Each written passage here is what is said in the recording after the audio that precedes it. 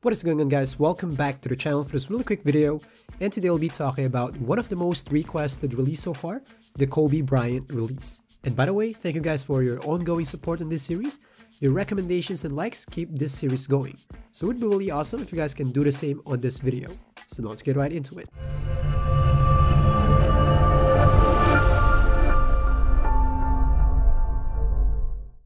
So for those of you who don't know how this jump shot series works, basically every video I'll be covering a specific base or release and I will cross compare it to the others that I already covered.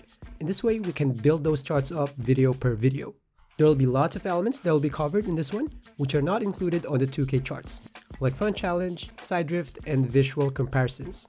And just a quick disclaimer that I won't judge these releases overall. Of course there's a lot of elements that can't be put into numbers like for example the visual cue so these numbers here are just guides. So now for the first one, the shot speed. By the way, there will be some changes on how I test for shot speeds on release videos. Now it will be split into two. First part will be the input speed, which tells us how long should you press the button to green the shot. And for the second part, I call it actual release speed. That's the time between the start of the shot up to the actual release of the ball. When I was playing around with the clips, I noticed that some releases let go of the ball straight away, and some will take a bit of time before letting go of the ball. So I thought that it should be separated into two lists. So that second part there, which is the actual release speed, is a big factor on challenge reduction. And now for the results, here you can see, in terms of input speed, it's tied up on the second place. I know it has a bit of a difference in there, but in real time, it won't be that noticeable. And by the way, I tested for Bembury, just for us to have some reference on how slow can your release be. And now for the actual release speed, it's right at the end. And here you can see, in terms of input speed, it's about the same as Bay, but you can notice here that it's not releasing the ball straight away.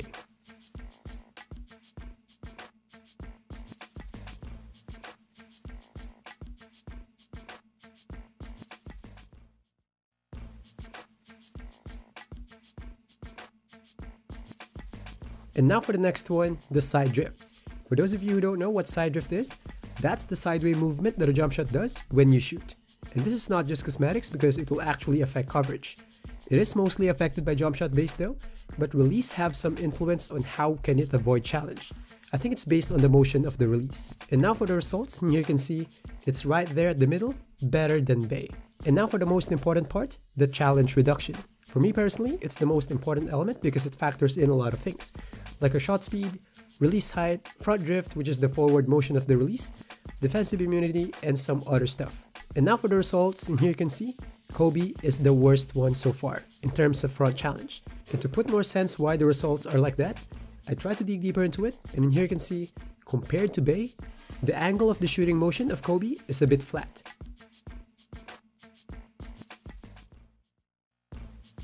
And to make it worse, if we consider release speed and if I sync both clips at the start of the shot to factor in actual release speed, it is really noticeable that it will invite a lot of contest. But again, I'm not judging these releases overall. Of course, if your shots are always open, then none of these will matter to you.